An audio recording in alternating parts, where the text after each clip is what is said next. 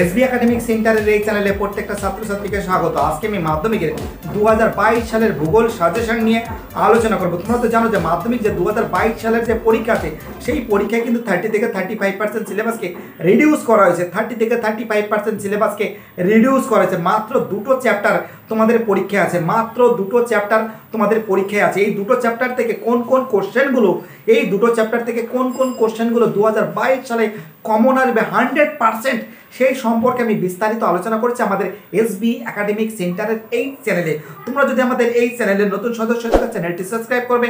পাশে থাকা bell icon on করবে অল নোটিফিকেশন অন করে সমস্ত বন্ধুদের মধ্যে শেয়ার করবে। এটাই আমার একান্ত অনুরোধ। তো দেখো, আমি যে সাজেশনটা দিয়েছি, সেই সাজেশন আমি ভালো করে বলছি প্লিজ তোমরা খাতায় একটু লিখে নেবে এবং এইগুলো ভালো করে পড়বে। আমি গ্যারান্টি দিয়ে বলতে পারি হান্ড্রেড পার্সেন্ট দু হাজার বাইশ সালে এখান থেকে তোমরা কমন পাবে। আসলে বহির্জাত প্রক্রিয়া এবং তার দ্বারা সৃষ্ট ভূমিরূপ, আর একটা আসলে ভারতবর্ষের কি আছে, ভারতের প্রাকৃতিক ও অর্থনৈতিক পরিবেশ। মানে কি, এই দুটো চ্যাপ্টার অলরেডি দু হাজার বাইশ সালের ক্ষেত্রে নিউ সিলেবাসের ক্ষেত্রে সিলেক্ট আছে।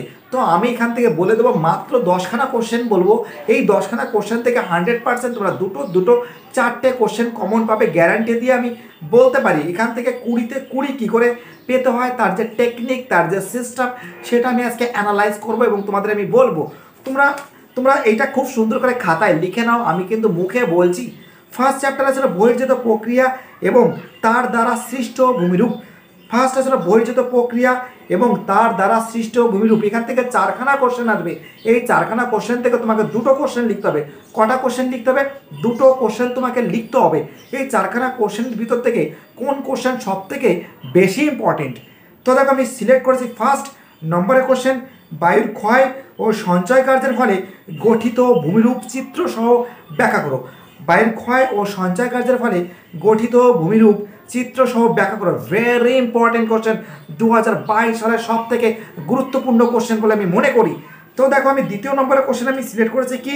দ্বিতীয় নম্বরের কোশ্চেন আমি সিলেক্ট করেছি যে নদীর ক্ষয় ও সঞ্চয় কার্যের ফলে, নদীর ক্ষয় ও সঞ্চয় কার্যের ফলে গঠিত ভূমিরূপ চিত্র সহ ব্যাখ্যা করো। নদীর ক্ষয় ও সঞ্চয় কার্যের ফলে গঠিত ভূমিরূপ চিত্র সহ ব্যাখ্যা করো। তোমরা কমসে কম চার থেকে পাঁচখানা পয়েন্ট লিখবে, তার সঙ্গে কাকে বলে বৈশিষ্ট্য, উদাহরণ এবং তার সঙ্গে চিত্র অবশ্যই তোমাকে দিতে হবে। ভূগোলে যদি নাইনটি পার্সেন্টের উপরে নম্বর পেতে চাও, তাহলে আমি যে কথাগুলো বলছি প্লিজ তোমরা ভালো করে মন দিয়ে শুনবে। তো দেখো আমি নেক্সট কোশ্চেন আমি সিলেক্ট করেছি হিমাবয়ের সঞ্চয় ও ক্ষয়কার্যের ফলে। হিমাবয়ের সঞ্চয় ও ক্ষয়কার্যের ফলে গঠিত ভূমিরূপ চিত্র সহ ব্যাখ্যা করো। হিমাবয়ের ক্ষয় ও সঞ্চয় কার্যের ফলে গঠিত ভূমিরূপ চিত্র সহ ব্যাখ্যা করো। তো দেখো, এটা এটা আমাদের তিন নম্বরের কোশ্চেন এটা আমাদের তিন নম্বরের কোশ্চেন তো দেখো, আমি নেক্সট কোশ্চেন আমি সিলেক্ট করেছি যে হিমবাহ ও জলধারা। হিমবাহ ও জলধারার মিলিত কার্যের ফলে গঠিত ভূমিরূপ চিত্র সহ ব্যাখ্যা করো। হিমবাহ ও জলধারার মিলিত ক্ষয়কার্যের ফলে গঠিত ভূমিরূপ চিত্র সহ ব্যাখ্যা করো। এটা আমাদের চার নম্বরের কোশ্চেন এবারে পাঁচ নম্বরের কোশ্চেন আমি কী সিলেক্ট করেছি? পাঁচ নম্বরের কোশ্চেন আমি সিলেক্ট করেছি সুন্দরবনের উপর। সুন্দরবনের উপর পৃথিবীব্যাপী, সুন্দরবনের উপর পৃথিবীব্যাপী জলবায়ুর পরিবর্তন প্রভাব লেখো। সুন্দরবনের উপর পৃথিবীব্যাপী জলবায়ুর পরিবর্তনের প্রভাব ব্যাখ্যা করো। আমি এখান থেকে যে চারখানা কোশ্চেন আসবে, এই চারখানা কোশ্চেন থেকে মাত্র তোমাকে দুটো কোশ্চেন লিখতে হবে। আমি যে সাজেশন দিয়েছি, এই সাজেশনের বাইরে থেকে কোনো কোশ্চেন আসতে পারে না। দু হাজার বাইশ সালের মাধ্যমিক পরীক্ষায়। ডিসক্রিপশন বক্সে ফেসবুক পেজের লিঙ্ক দেওয়া আছে, সেই ফেসবুক পেজকে তোমরা অবশ্যই ফলো করবে। তো দেখো, এখান থেকে পাঁচখানা কোশ্চেন দিয়েছি। এই পাঁচখানা কোশ্চেন থেকে আমি গ্যারান্টি দিয়ে বলতে পারি, এখান থেকে হান্ড্রেড পার্সেন্ট তোমরা দুটো কোশ্চেন কমন পাবে। এর বাইরে থেকে কোনো কোশ্চেন আসতে পারে না। দু হাজার বাইশ সালে। তো দেখো, আমি এবার ভারতের প্রাকৃতিক ও অর্থনৈতিক পরিবেশ এই চ্যাপ্টার নিয়ে আলোচনা করবে। এখান থেকে তোমার চারখানা কোশ্চেন থাকবে। এই চারখানা কোশ্চেন থেকে তোমাকে দুটো কোশ্চেন লিখতে হবে। কোন কোশ্চেনগুলো খুবই গুরুত্বপূর্ণ? দু হাজার বাইশ সালের ক্ষেত্রে সেগুলো নিয়ে আমি আজকে ব্যাখ্যা করেছি আমাদের এস বি একাডেমিক সেন্টারের এই চ্যানেলে তোমরা যদি আমাদের এই চ্যানেলের নতুন সদস্য হয়ে থাকো চ্যানেলটি সাবস্ক্রাইব করবে, পাশে থাকা বেল আইকন অন করবে অল নোটিফিকেশন অন করে সমস্ত বন্ধুদের মধ্যে শেয়ার করবে। তো দেখো আমি ফার্স্ট কোশ্চেন সিলেক্ট করেছি কি? পূর্ব ও মধ্য ভারতের লৌহ ইস্পাত শিল্প কেন্দ্রীয় ভবনের কারণ লেখো। পূর্ব ও মধ্য ভারতে লৌহ ইস্পাত শিল্প কেন্দ্রীয় ভবনের কারণ লেখো। ভেরি ইম্পর্টেন্ট কোশ্চেন দু হাজার বাইশ সালের ক্ষেত্রে সব থেকে গুরুত্বপূর্ণ কোশ্চেন তো দেখো আমি নেক্সট কোশ্চেন কি সিলেক্ট করেছি? ভারতের জনসংখ্যা বন্টনের তারতম্যের কারণগুলি লেখো। ভারতের জনসংখ্যা বন্টনের তারতম্যের কারণগুলি লেখো। ভেরি ইম্পর্টেন্ট কোশ্চেন তো প্রথমে আমি সিলেক্ট করছি পূর্ব ও মধ্য ভারতের লোহেশ্বর শিল্প কেন্দ্রীয় ভবনের কারণ। ভেরি ইম্পর্টেন্ট কোশ্চেন তারপরে কোশ্চেন আমি সিলেক্ট করছি ভারতে জনসংখ্যা বন্টনের তারতম্যের কারণ। এটা খুবই গুরুত্বপূর্ণ কোশ্চেন তো দেখো আমি নেক্সট কোশ্চেন আমি সিলেক্ট করছি কি? ভারতের পূর্ব উপকূল ও পশ্চিম উপকূলের মধ্যে পার্থক্য লেখো। ভারতে পূর্ব উপকূল ও পশ্চিম উপকূলের মধ্যে পার্থক্য লেখো। এরই সঙ্গে আরেকটা কোশ্চেন আমি সিলেক্ট করেছি, দক্ষিণ ভারত ও উত্তর ভারতের নদ নদীর মধ্যে পার্থক্য লেখো। মানে উত্তর ভারতের নদ নদী এবং দক্ষিণ ভারতের নদ নদীর মধ্যে পার্থক্য। টোটাল এই যে তিনখানা কোশ্চেন দিয়েছি, এই তিনখানা কোশ্চেন খুবই গুরুত্বপূর্ণ, খুবই ভাইটাল দু হাজার বাইশ সালের ক্ষেত্রে আমাদের ডিসক্রিপশন বক্স অবশ্যই ফলো করবে। আমাদের ডিসক্রিপশন বক্সে ফেসবুক পেজে লিঙ্ক দেওয়া আছে। আমাদের ফেসবুক পেজকে তোমরা অবশ্যই ফলো করবে। তো দেখো, আমি পরের কোশ্চেন আমি দিয়েছি ভেরি ইম্পর্টেন্ট কোশ্চেন আমি বলতে পারি গ্যারান্টি দিয়ে বলতে পারি, আসবে। তো দেখো, ইক্ষু চাষ, কার্পাস চাষ, ধান, গম, চা। ইক্ষু, কার্পাস, ধান, গম, চা। এর ভিতর থেকে আসবে ইক্ষু, কার্পাস, চা, ধান, গম।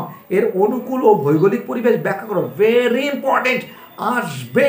এর বাইরে থেকে কোনো কোশ্চেন আসতে পারে না। আমি এর ভিতর থেকে বলতে পারি কোন কোশ্চেন সব থেকে বেশি ইম্পর্টেন্ট তোমরা ইকু চাষ এবং কার্পাস চাষটা ভালো করে পড়ে যাবে।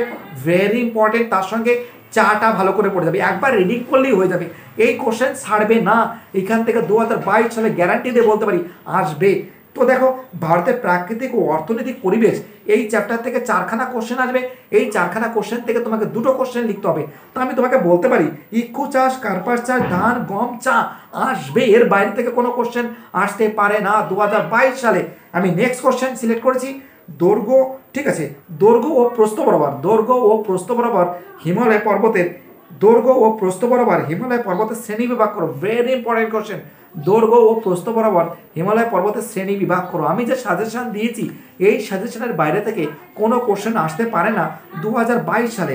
আমি প্রথমে বর্জিত প্রক্রিয়া এবং তার দ্বারা সৃষ্ট ভূমিরূপ থেকে এই এই চ্যাপ্টার থেকে আমি কোশ্চেন বলেছি, কিন্তু পাঁচখানা কোশ্চেন দিয়েছি। এই পাঁচখানা কোশ্চেনের ভিতর থেকে দুটো কোশ্চেন কমসে কম তোমরা কমন পাবে এবং চারখানা কোশ্চেনও কমন পেয়ে যেতে পারো।